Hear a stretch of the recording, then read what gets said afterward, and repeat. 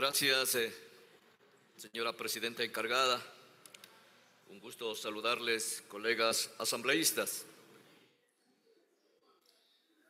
Como familiar de migrantes y también miembro de la Comisión de Relaciones Internacionales y Movilidad Humana, debo señalar que aprobamos el proyecto de reformas a la Ley Orgánica de Movilidad, acogiendo precisamente las aspiraciones y demandas de nuestros compatriotas migrantes y retornados, reconociendo sus derechos y por supuesto garantizando su inclusión en nuestra sociedad.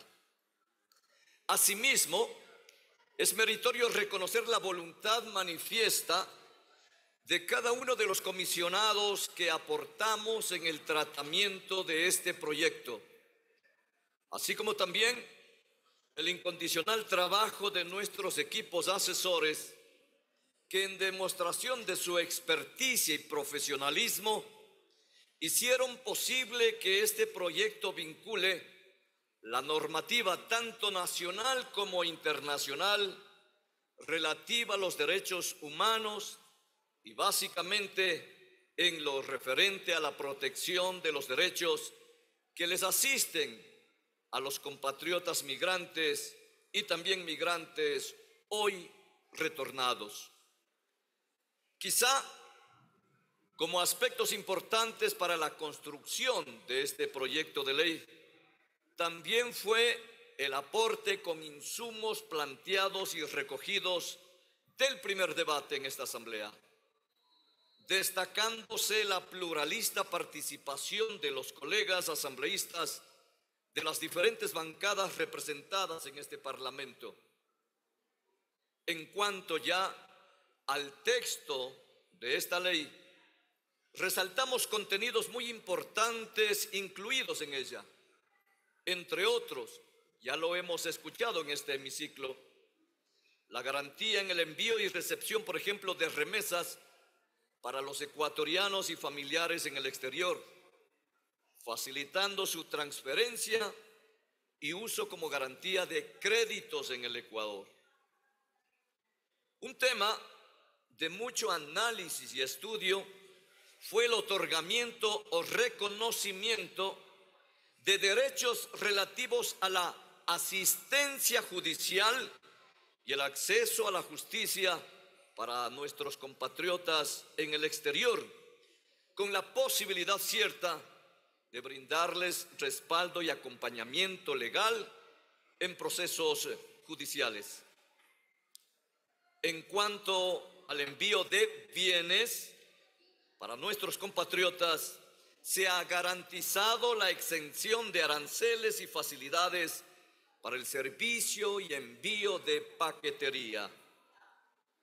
Con esta ley se atiende también un pedido muy sentido por nuestros compatriotas en el exterior respecto a lo que significa el servicio de registro civil e identidad. En cuanto a nuestros migrantes retornados, se les reconoce el derecho a la vivienda y, el, y la inserción educativa y el acceso al sistema financiero nacional y cuando hablamos del tema financiero, se establece para los residentes en el exterior y los migrantes retornados tasas preferenciales y además se les simplifica los trámites para la obtención del certificado de retornados, entre otros beneficios. Sin embargo, de lo tratado por los comisionados, quizá lo que puede haber generado opinión divergente hace relación a la reforma que se plantea sobre la ley de servicio exterior, modificando la edad para ser designado como embajador. Sin embargo, se debe aclarar que esta propuesta guarda coherencia con el principio de brindar oportunidad a nuestros jóvenes que cuentan con formación profesional y están preparados para desempeñarse como servidores públicos y, ¿por qué no, en el servicio diplomático?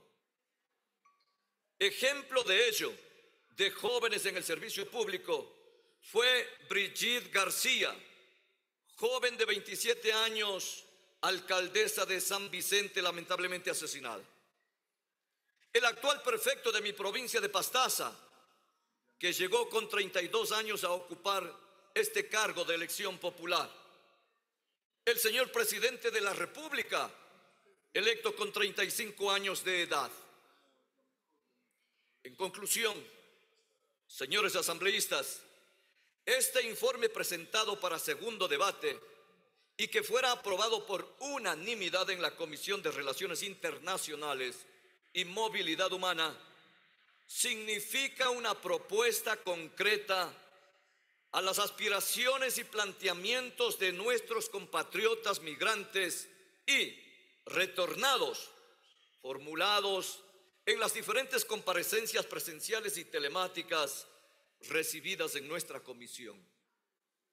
Por lo expuesto, considerando que nuestros migrantes no solo son remesas, que son nuestros familiares, que son nuestros connacionales, haciendo patria en el exterior, solicito formalmente al Pleno de esta Asamblea brindar su apoyo y aprobar este proyecto de reformas a la ley orgánica de la movilidad humana. Gracias, señor presidente. Gracias, estimados colegas asambleístas. He dicho.